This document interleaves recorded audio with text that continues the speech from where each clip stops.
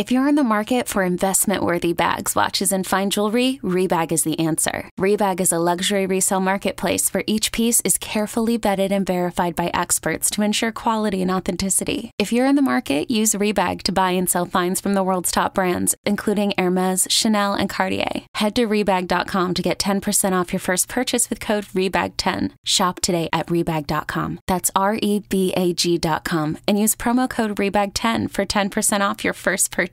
This is GoPowerCat.com publisher Tim Fitzgerald. Thank you for listening to this PowerCat podcast. Make sure you never miss an episode of the PowerCat podcast by subscribing on Apple Podcasts, Spotify, Stitcher, TuneIn, or your favorite podcast network. And if you enjoy this podcast, please consider becoming a subscriber to GoPowerCat.com. We cover the Wildcats like no one else, with our VIP customers enjoying one of a kind coverage from our team of professional journalists. And sign up today for an annual subscription to GPC and grab a 30% discount on your first year. And now here's the PowerCat Podcast. The following is a GoPowerCat.com and Spirit Street production. You've discovered your link to GoPowerCat.com's PowerCat Insiders podcast, presented by Commerce Bank, and it starts right now. Now, let's go to the WTC Gig Powered Studios. Here's your host, GoPowerCat.com publisher, Tim Fitzgerald. Welcome to another edition of the PowerCat Insiders podcast presented by Commerce Bank. Kansas State coming off a 26 to 13 defeat at Oklahoma State. And the Wildcats have fallen out of the national polls and deservingly so as they went through a lethargic effort in Stillwater. That was not easy for me to say. A lethargic effort I should be familiar with lethargic efforts. It's something I do quite a bit. And in fact, all three of you were there. I am joined by Ryan Black to my left of the Manhattan Mercury, Kellis Robinett of the Wichita Eagle across from me. And I don't know why I'm saying where everyone is because it's a podcast, but Matt uh-huh. Walters is to my right. And of course, he is of the Kansas State Radio Network on the sidelines pre and post game. He never stops talking. Oh, yeah, I do and he uh, is actually with us this week. Welcome back, partner. Good to be back. Sorry, duty called last week. Yeah, that's fine. Took that's longer fine. than expected. Uh, the, the, problem wasn't not having you. The problem was uh, one of our friends from the Manhattan Running Company, who do, does their podcast in our studio, great guys, uh, accidentally picked Snagged up. the reeds. Yeah, so uh, the reeds were about you last week. I'll go, ahead, I'll go ahead and knock one out. Do it. Is that all right? It'll be better than what we did last week. Whatever financial challenges come your way, Commerce Bank can help. Commerce Bank challenge accepted. Well, let's start at this uh, Oklahoma State challenge not accepted. Guys, uh, I watched it on ESPN Plus, so I don't really know what happened. That's a whole other topic I will get into, but. Uh, let's start with you, Kellis. Your immediate thoughts on what K State looked like from the very get go in that contest. Well, they look bad, really. I mean, and that's it for this week's Insiders um, I don't know. I wouldn't blame anybody for jumping off the bandwagon. I mean, before the game, you were looking at the schedule and saying, "Boy, you win this one." You know, Baylor and TCU are up next. You'd be six and zero. Oh, bring on Oklahoma, and now after that, you're thinking, "Well, now Baylor looks pretty tough. TCU looks pretty tough." So, I mean, I, I don't know. Um, that's not definitely not what you wanted to see because everybody wanted to know how was this team going to respond to a real Big 12 test. They hadn't faced the spread yet before, and they got eaten alive by it. So they didn't respond at all. They, I thought they did really good just to keep it 26-13. It felt like more of a 45 to 10 game. Yeah, that's honestly. my question for you, Ryan. Closest blowout you probably ever covered. Uh, it's up there. You know, what's funny is that the game that we saw Saturday is the game that I thought we would see two years ago when they went down there and were the 21, 22 point underdogs. Yeah. Because it just, you know, it, like Kellis said, it just the the final score is not indicative of how much Oklahoma State thoroughly dominated that game. Now, what surprised you the most about that performance? I figured K State would be able to run the ball. Me too. On Oklahoma State, and uh, I think the fact that Oklahoma State missed two offensive linemen, one of them being Teven Jenkins, the Topeka High product, and they really didn't miss a beat. Um, I thought K State would be able to do more to them defensively. I thought if the the front four, occasionally the you know front six, front seven, if they could get a little pressure and, and do some things that way, um, they'd have some success. It just it didn't translate. They had moderate success. Wyatt Hubert Right, was disruptive at times. but you can't have those penalties. No, That's something that's got to get eliminated. you know, everything we thought we knew about this team went out the window in this game. They generally play clean football, uh, you know, and they had their first offensive turnover, and it was huge. They are pretty limited in penalties. They don't make a bunch of mental mistakes. And most importantly, the offensive line are dominant badasses that will blow the other team off the ball. And they didn't do that against an Oklahoma State defense that is not known to be run stoppers. I understand that Oklahoma State changed their schemes, it changed some personnel, but my goodness, they K State didn't adapt to anything till later in the second half, did they, Kels? Now, the, the, the two things that I guess I took away most from the game were players saying that Oklahoma State legitimately surprised them with scheme. Like James Gilbert, Dalton Schoen, Skylar Thompson all said that that they were just borderline shocked that they came out and were doing some of the things they were doing and it threw them off early. And then secondly, just how limited they were passing. I mean, I, I knew without Malik Knowles they would probably take a step back, but I mean they really had no passing game at all without him. And maybe that's why they couldn't run the ball. Maybe Oklahoma State just made it so difficult they couldn't. I still thought they would be able to average more than 3.9 yards a rush, though, given how well they, they ran the ball in the first three games. Yeah, and I thought the one thing that was probably going to work, they seemed reluctant to do, and we saw a little bit of it, but not enough. And I know you don't want to use Skylar Thompson as a battering ram, Matt. but- Quarterback run. But if you Yeah, can't get open, run off that secondary deep and open up, uh, you know, some quarterback runs. It just seems like it was like we told you we're not going to run you like Coach Snyder did, so we're not going to do it, and they just abandoned what probably would have worked. And I think that maybe we're going to see more of it or not. He hasn't helped himself a lot, but that's something that John Holcomb can do. Right. But you can't put the snap on the turf. You've got to. They used two timeouts every time he came onto the field. What the heck? He's he's got to get some things figured out. He can really help this football team. I think um, I think it's on him in, in some regards, but um, you know, K State had there were a couple of drop passes that shouldn't have been dropped, but you know, I'm like Kellis, the Oklahoma State just snuffed out the passing attack. Their corner, their corners are good. They're not the best Oh. corners in the country, but they're pretty good. And K State could not get open out on the edge. And it wasn't a good day from Skylar. He he didn't look comfortable. It was the first time he looked like Skylar of last season with his confidence shaken, bad body language. It just wasn't his night. No, that's that's exactly what I was about to say. Fitz was that I mean, literally word for word, I was going to say he didn't look comfortable, and he looked a lot more like the quarterback last year, who was very unsure of himself. Of course, not not the same exact circumstances, in that knowing that he wasn't going to get pulled like last year in, in favor of a guy like Alex Delton, but just n- nothing at all to me uh, from Skylar. He he did not look at all like the same player from from the first three games of this season in in any facet, not just how he played, but like the body language too wasn't there. Well, I'll say this: you learn something from losses, and Skylar and the coaches learned something about him. He has a bad habit, Kellis, of fleeing to his right and Yeah. and not stepping up into the pocket and actually stepping around where they can get to him easier. It happened over and over, and in fact, he got so obsessed with it, he missed Landry Weber on an easy first down throw instead to run it out of bounds. It was disturbing.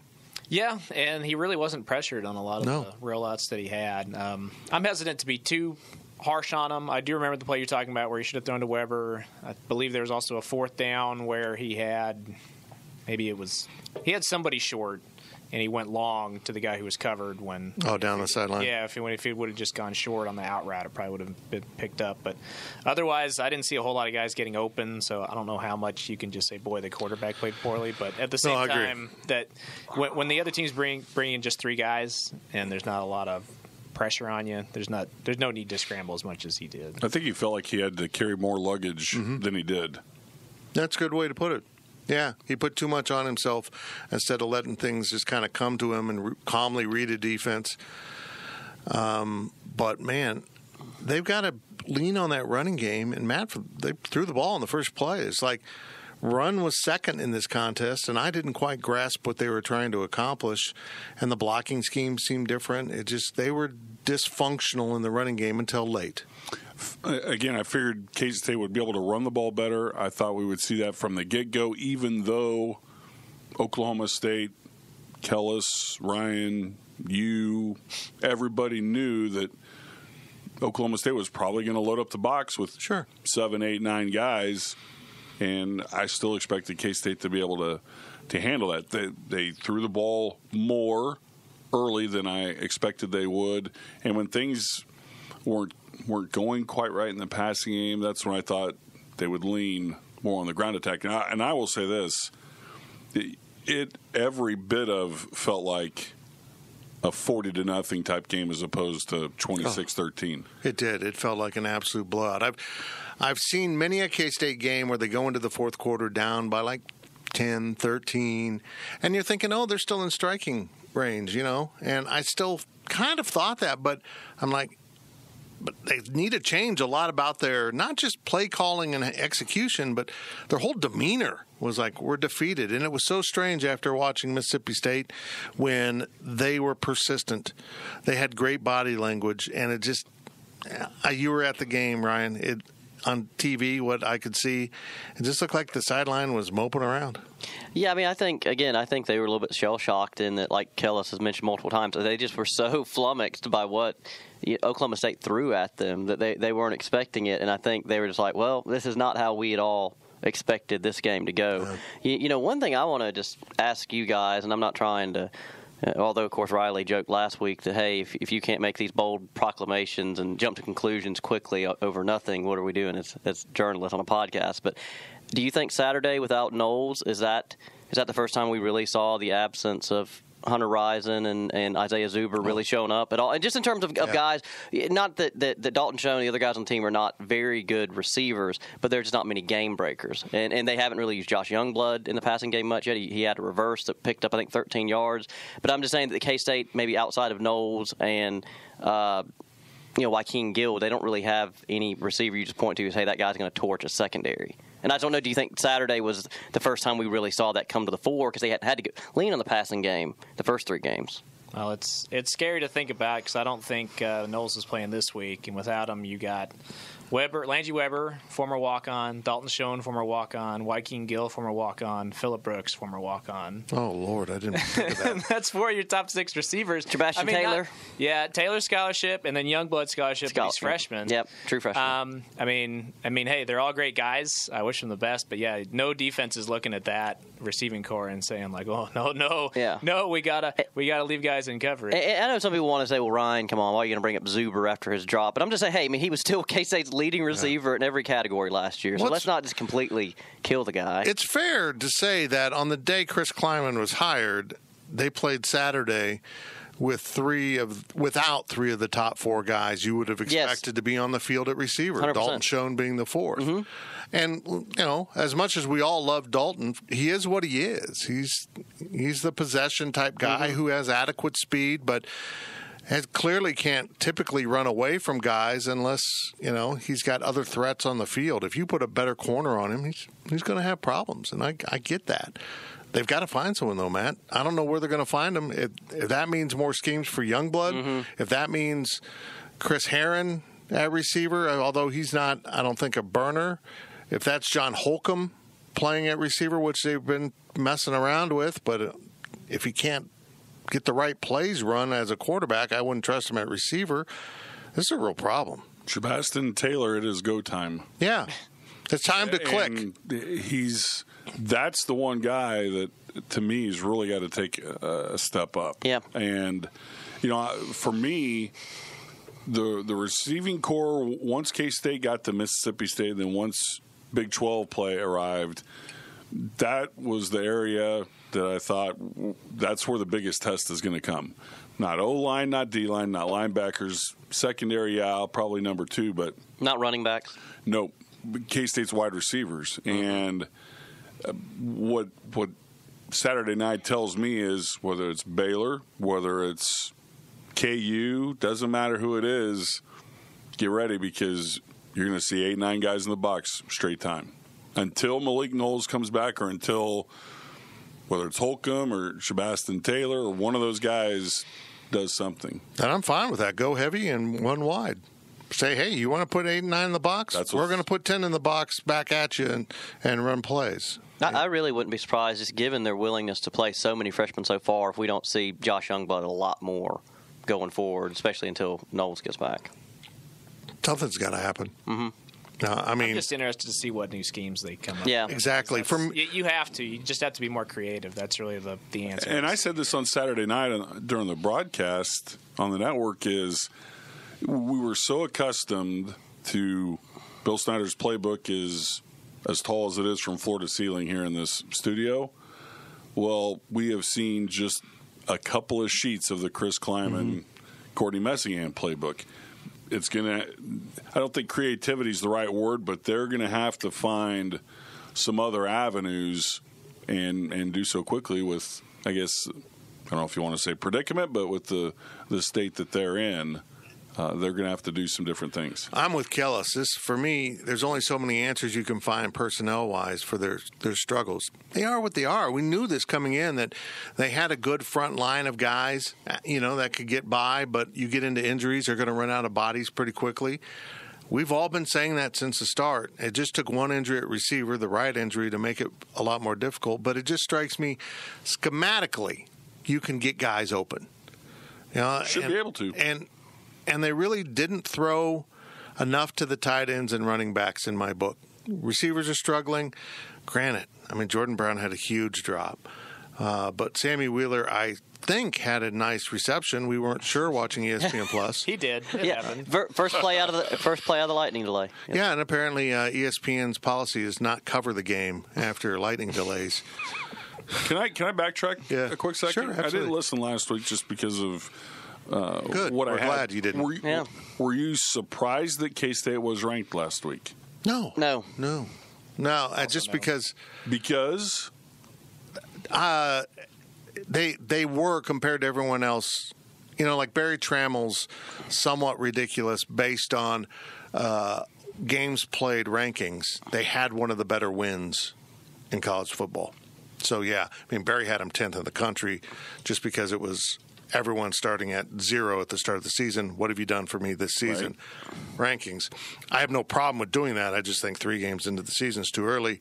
They didn't belong at ten. I think they belonged at twenty-two to twenty-four, and now they belong on the outside. But they can win their way back in with a couple wins pretty easily. Well, and, and I wasn't surprised either because you have to remember, I mean, they beat uh, Mississippi State, who was low in the rankings. TCU got beat; they were number 25 to SMU, and I believe K State had been the top ranked team and the all receiving. So I just thought, well, hey, there's really no reason they shouldn't be ranked after after the win at Mississippi State. But I guess I'm I'm looking at it from a, a different avenue. I thought it was still receiving votes. That's where going into the Oklahoma State game, that's where K State should have been. oh, oh, oh, okay. oh, you're just saying like your personal opinion if you were still ranking them, right? That's okay. Had I I would have had no problem with that. had I been a voter, I just Hadn't seen enough. I yeah, right Yeah, I- I three and zero, personally- great, but I was not blown away with Mississippi State. no, I wasn't I, either. I think a lot of I think they got a little benefit of the doubt because they're you know SEC team mm-hmm. and people mm-hmm. bump yeah. that up.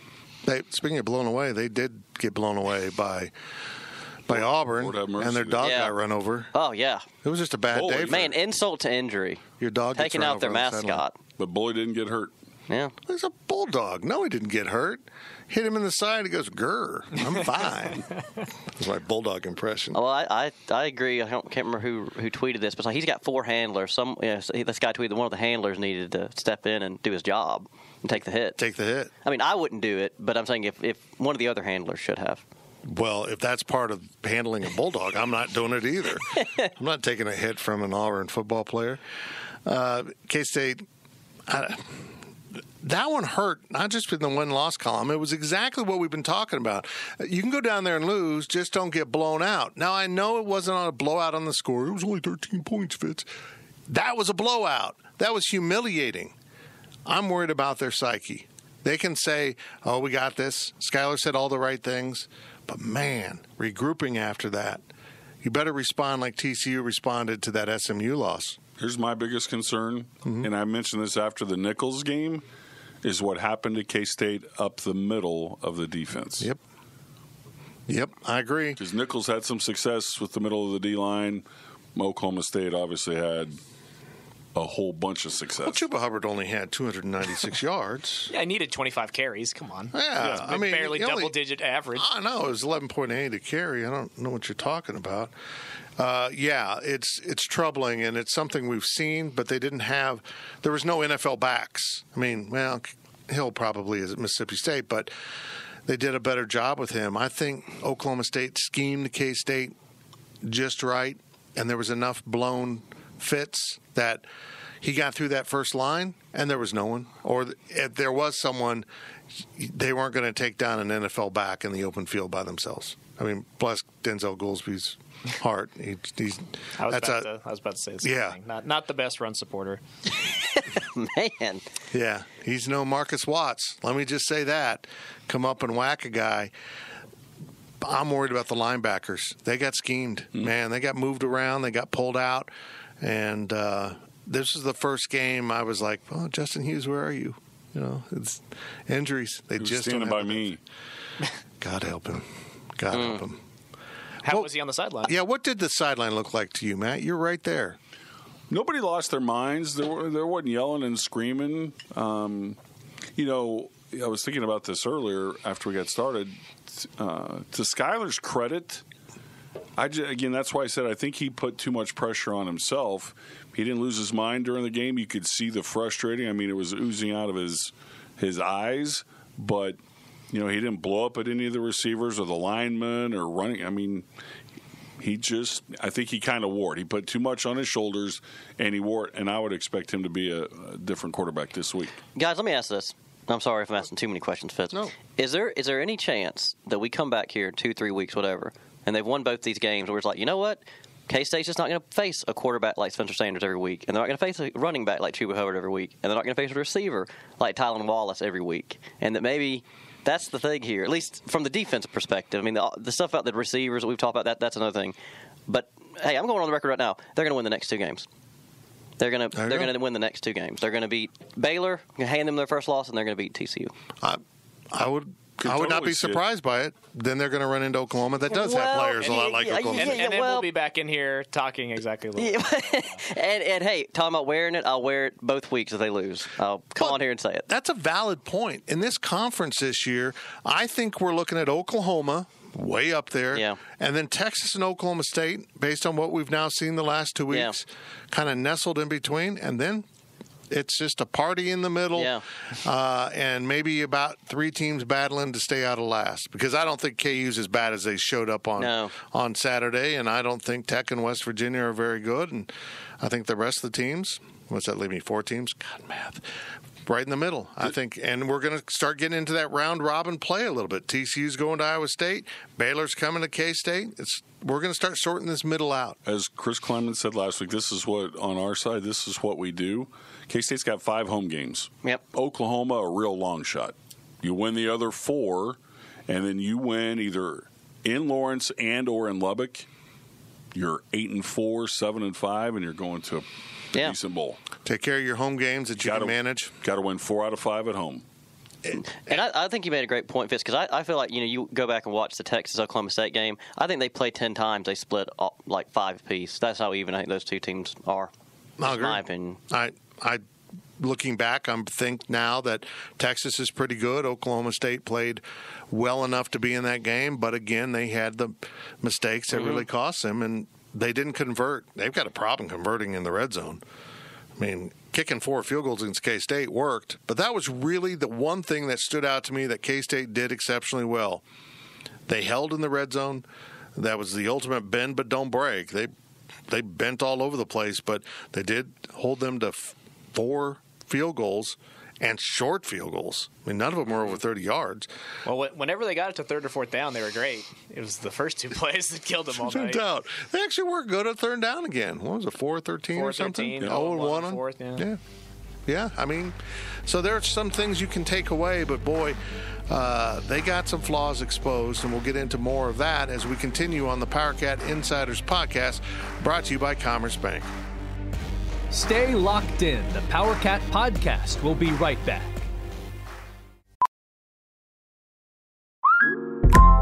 Listen. Up. I won't sugarcoat it. This is the longest cold, flu, and allergy season we've ever seen, but we're not alone.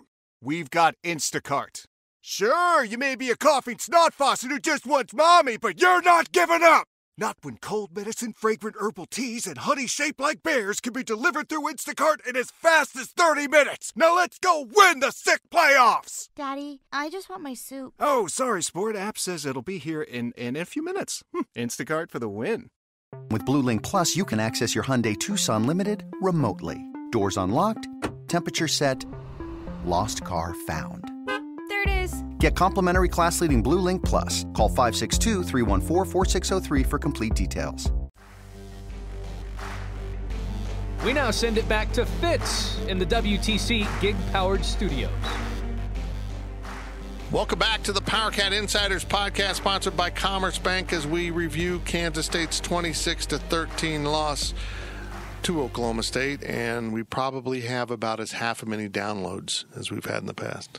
Guys, this has been going really well. People seem to like us. Wow. I would think uh, downloads would spike this week without Riley. I Right? Yeah, that's a good point. I know. They really spiked two weeks ago without Ryan.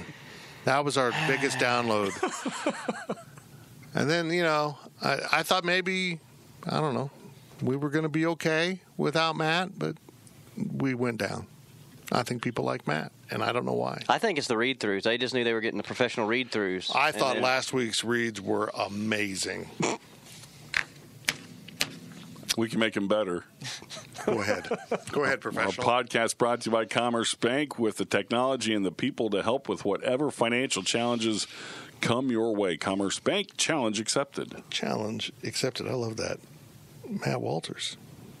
How about Baylor leading 20 to nothing and barely winning against Iowa State? You know, guys, I miss going on the road. Um, That's how I would spell that in the paper, by the way. That'd be a hammer. Bear, B E A R. Oh, I'm sorry, guys.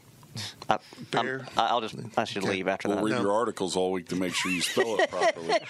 uh, I get to watch games like that by being at home, and I got to watch that basically wire to wire. And it was they looked dysfunctional in the first half, both teams, and then Baylor kind of woke up and looked good, and and finally Iowa State figured out, oh, they're overplaying everything. Let's run some wheel routes and throw back on the backside of the defense. And sure enough, it started working, and it opened everything back up.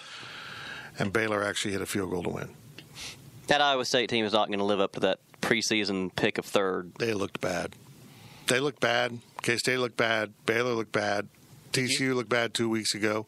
Did you see Matt Rhule's outfit though? I couldn't take my eyes off it. I don't remember that. It looked Yeah. like it was a dry fit T-shirt Mm, sexy. with a dry fit sleeveless windbreaker on top of it, Mm. but the sleeveless dry fit windbreaker had a cloth hoodie attached, and the shirt was white. So it was very odd. The shirt was white, the thing he was wearing on top was gray, and then the hood was green. And I, for the life of me, could not figure out if it was one item, two items, three clothing items. I'm going to guess I'm still three. perplexed. Let's get into a serious topic here. At what age does the unnecessary hoodie become a distraction from your manhood? Now, look, hoodies have a purpose. If you're generally cold, you want that hoodie. But if it's not genuinely cold and you're, you know, you're just hanging out on a 100 degree sideline, hoodie seems not needed and, for lack of a better word, douchey.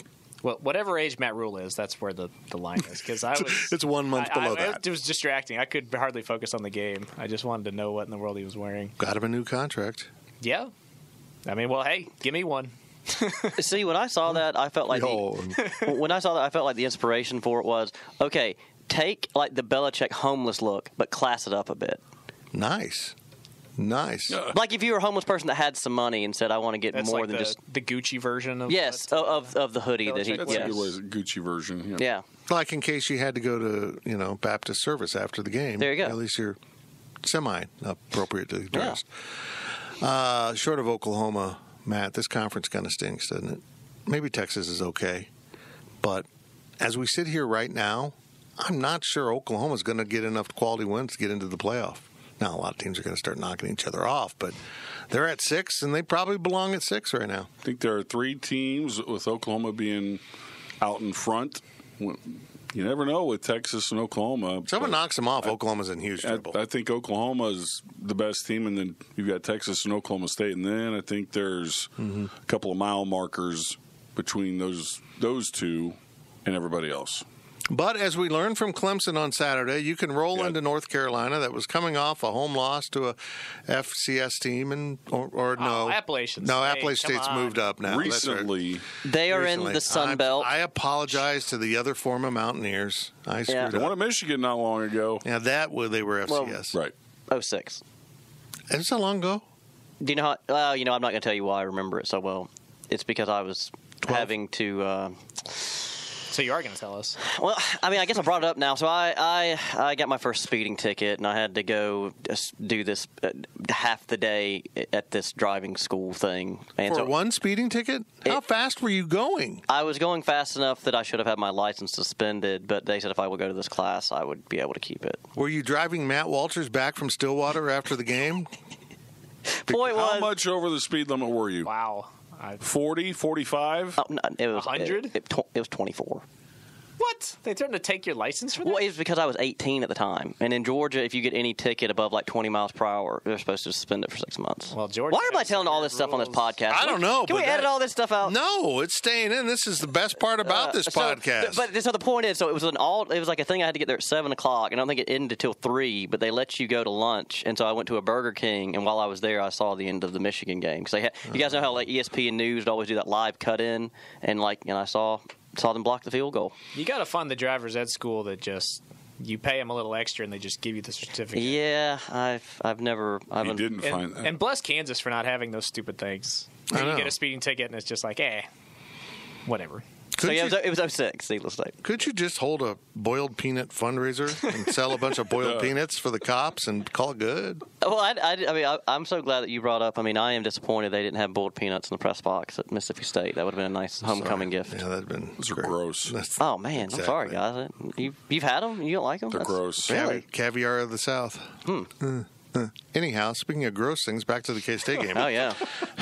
I don't think this will continue. I, I maybe this is the optimist in me, but I think Courtney Messingham and the offensive staff are going to go in and say, "Well, that was a that plan didn't work at all. Uh, let's let's get a little more creative and do some different things." Because Kellis, I thought they tried some different stuff at Oklahoma State. I thought the blocking schemes were more zone and a little bit different, less pulling, less razzle dazzle, and it blew up in their face. Yeah, the other two things I thought that hurt. You remember in the first half where on back-to-back drives they picked up nine yards on their first play, Mm-hmm. And then they had to punt. They punted both times, right? Or no, they punted once and got stuffed on fourth down the other, I think. impressive. And yeah, it's hard to gain nine yards on down one and not move the chains at all on back-to-back drives. So Which was rare know. because K State was not good on first down most of the night. Uh, yeah, weird. So I don't know what was going on there. I don't know if that kind of messed with what they were trying to do, but they did get creative. I mean, they tried stuff with Holcomb. I was a little surprised they went that far to the other end of the spectrum, but it just didn't work. So, yeah, I'm very interested to see the reset here because I, I do think, like Matt had said earlier, we'll see page two in the playbook against Baylor. I think they'll be. I thought we were going to see it this week. Is it possible they were a little bit too overconfident with Oklahoma State? Because honestly, looking at Oklahoma State, their first three games, four games, they were what they were. Really talented in three spots on offense, okay offensive line, and a front end of the defense that you should be able to run all day on. It just seemed like a okay formula to quote outscore your opponent and get a win. I'm I'm going to respond to that with a question: Who had Oklahoma State played? Who had they played? Yeah. They hadn't played anyone. Exactly. So I think they decided to show up, and again they they've got dudes that K State doesn't, and I got dudes. And to me, I, I don't know if I, I would say I'm looking at this differently, but you know, I didn't, I did not expect K State to go in and play a perfect game and score 49 points and walk out with a win and do all of those things. Uh, I thought it was. I think you said it was going to be a two point game. I thought it was going to be a one point game. Um, but with what K State is right now, we're just four games into the Klieman administration. You're going to have some of those. Yeah. And for the most part, when you look at the next month, which all three games are at home, plus the bye week mixed in, I'm I'm like Ryan. I'm pretty confident in saying I think K State's going to beat Baylor and then beat TCU. Oklahoma's a whole different enchilada. That's why I'm just right now four games in. You win four out of five at home, and you win in Lawrence and or you win in Lubbock. It's okay. Oklahoma's not an enchilada. They're the full Mexican buffet. They are going to bring it. But I don't. I want to see if Oklahoma. You know, I'd like to look two months down the road. Is the Oklahoma of 2019 as good as the Oklahoma that we've seen in the last four or five years? And I don't think we know that yet. Either. Yeah, we don't know. I don't think pretty good. They're pretty good. I mean, they're the best team in this league. Is CeeDee Lamb better than Hollywood Brown? It could be. He Is Trey Sermon better than what they've had at running back? could be. Is Jalen Hurts going to win the Heisman and OU for a third straight year?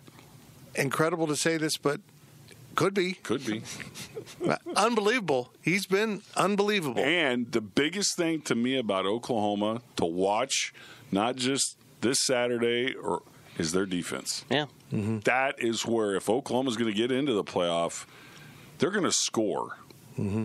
But are they going to be able to stop anybody? Their defense, I think, is better than it has been in probably a decade.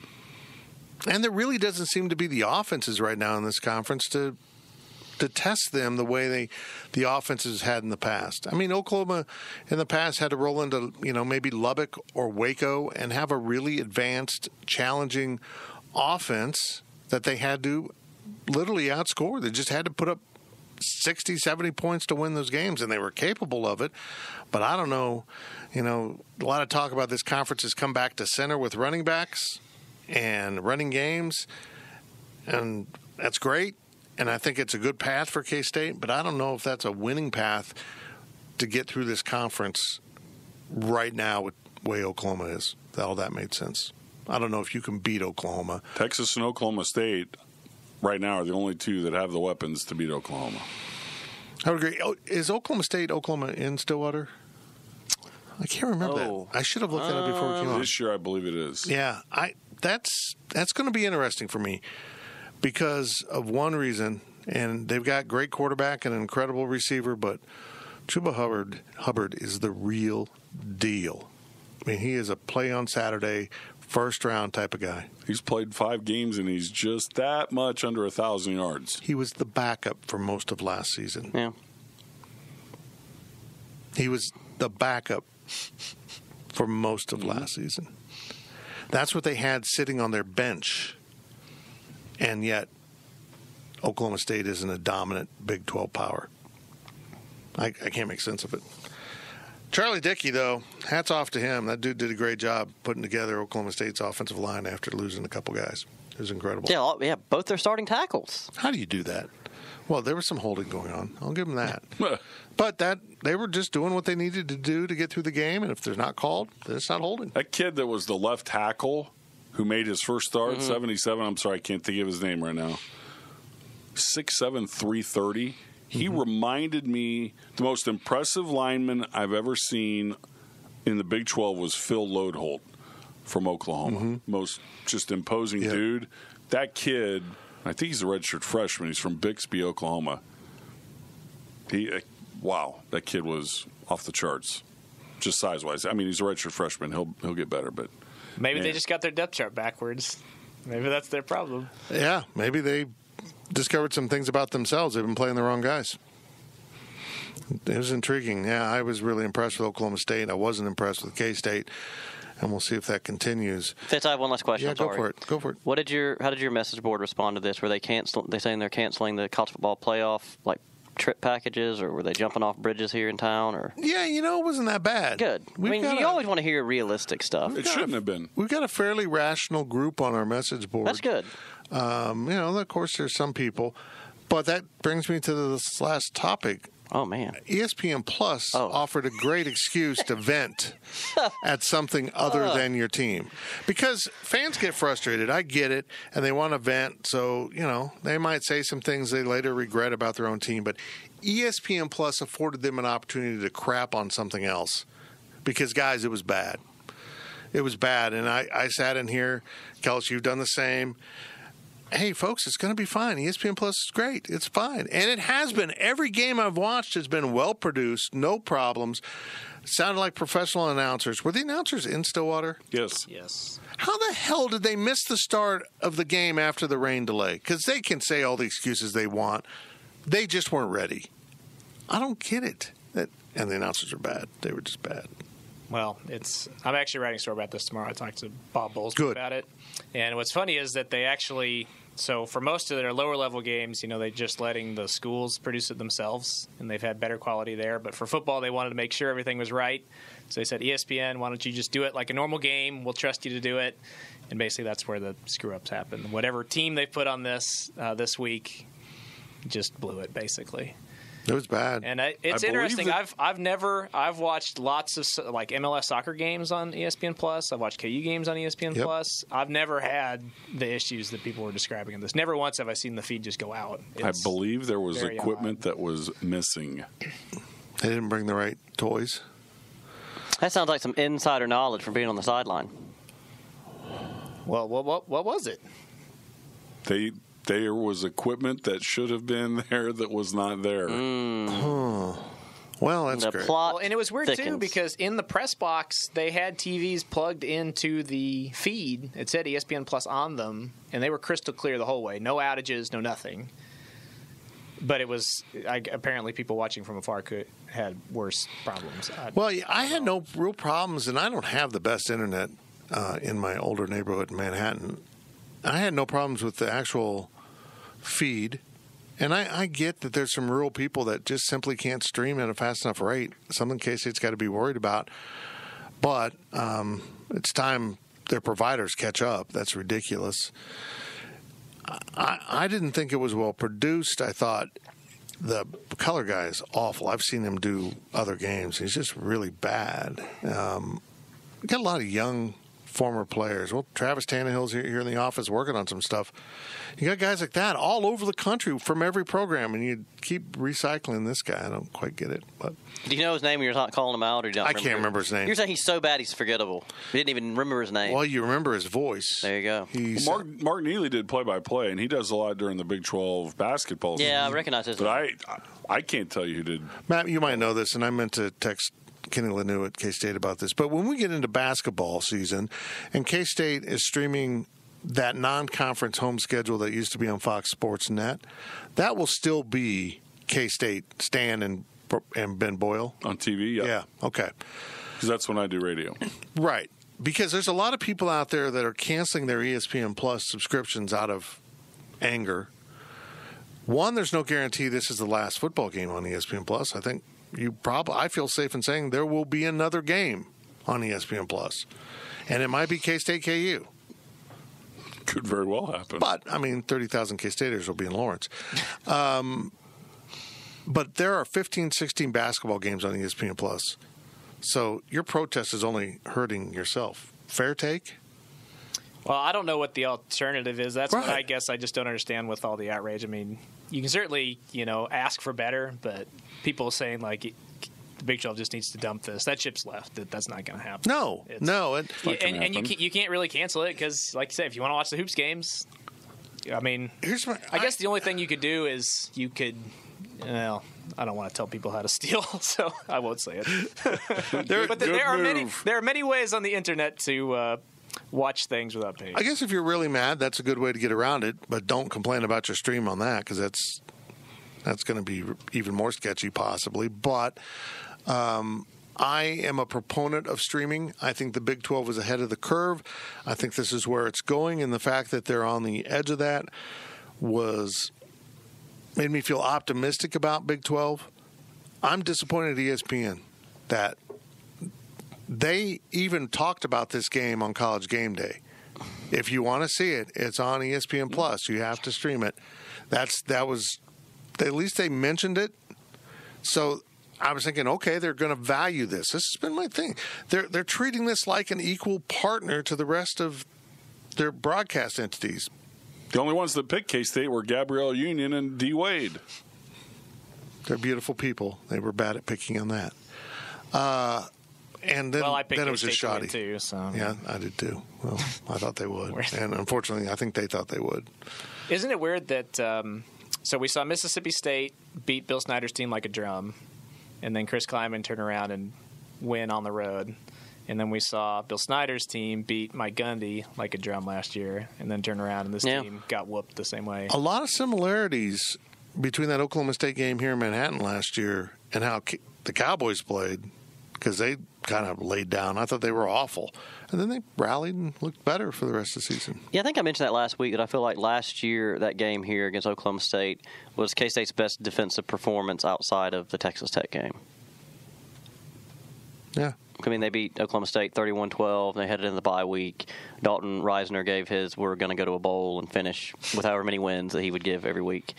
And yeah, the uh, first of many speeches. He's no Jacob Pullen. and then uh, and then the, the 21-6 game against against uh, Texas Tech, you know, where they held them out of the end zone. Well, I since the team's going to be fine, I'm looking forward to this week in press conferences. Speaking of equipment that wasn't there, Oh man, Texas Tech forgetting not bringing their winterized gear. Oh. yeah, that was bad.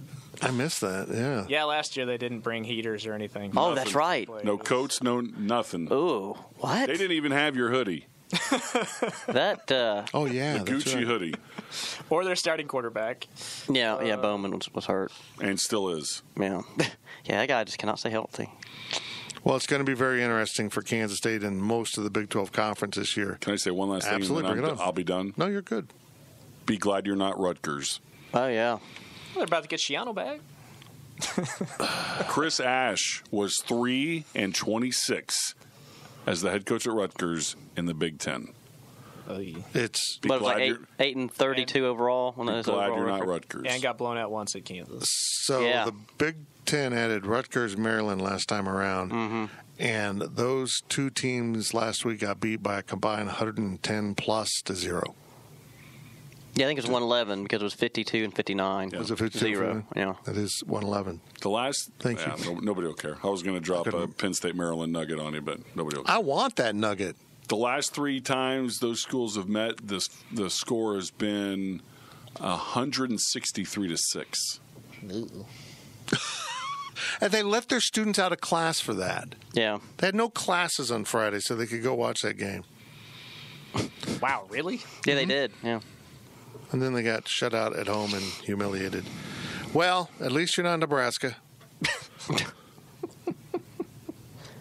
Ugh.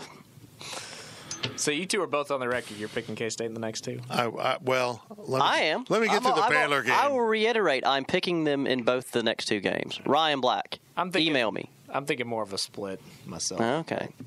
You're saying Alex Delton can come in here and, and win against his former. Oh, I think Max Duggan could. I'm not impressed with TCU. I think KU is, um, schizophrenic. yeah, they're they they're a very flawed team that can play a lot better than they have in the past. But I think the Khalil Herbert Yeah. news shook them. Like he goes on the trip and then says, "I'm out." Very strange. Yeah. I'd take him. It's a great teammate. Yeah, really team team first philosophy there. But and you know it's a business for him. He wants to be in the NFL. I think he's capable of it, but he's not going to do it being Pooka Williams back up at Kansas. I think they brought him to media days too, right? He was one of the representatives. Hmm. Probably. So what? So what are we thinking is going on there? That he's going to transfer? I'm going to gra- he's, Red- red he's played four transfer. games. He's going to use the red shirt and grad transfer. That's what it sounds like is going on. Business decision, like you said. That's Yeah, I think he's really good, cold blooded. But Well, not well handled. How are they going to treat that on miles to go? oh, I don't even think they'll show the game. They're just going to skip that episode. Yeah. Here's Miles hanging out with his wife. This week on Miles to Go, the team swings by Whataburger in Fort Worth. Torchy's, tacos. Yeah. The funniest part of the last episode, uh, I, I actually watched all of it, but when that Parchment, their receiver, was bragging about how he was going to be Big 12 Newcomer of the Year, and someone was like, "Yeah, all you got to do is beat Jalen Hurts," Oh, and he was like, "Oh, damn." Forgot. he knew the dream was over right Yeah, Just a yeah. small detail. Well, unfortunately, Kansas State doesn't have guys like Alabama laying around like Jalen Hurts. Oh, we don't need him. You can have him. We're fine. The disparity in college football is troubling, and if California gets its way, everyone will be able to pay players via false endorsements and things. And it'll only get worse. It's a great world we live in. Anyhow, be depressed. That's the end of the Insiders. Thanks for listening to the PowerCat Insiders. Sponsored by Commerce Bank. We'll be back next week following K State's victory, according to Ryan Black and myself, over the Baylor Bears. Make the bear claw now. Brr. You've been listening to the PowerCat Insiders Podcast presented by Commerce Bank. PowerCat Podcast. All rights reserved. GoPowerCat.com and Spirit Street Publishing. Sunday, the NFL divisional round, presented by Intuit TurboTax, concludes with the next chapter in one of football's epic rivalries. Patrick Mahomes makes his first playoff appearance on the road when he leads the Chiefs into Buffalo to face Josh Allen and the Bills. This is storybook! It all begins at 6 Eastern with the NFL Today. We can't wait for Sunday. The NFL playoffs are on CBS and streaming on Paramount Plus.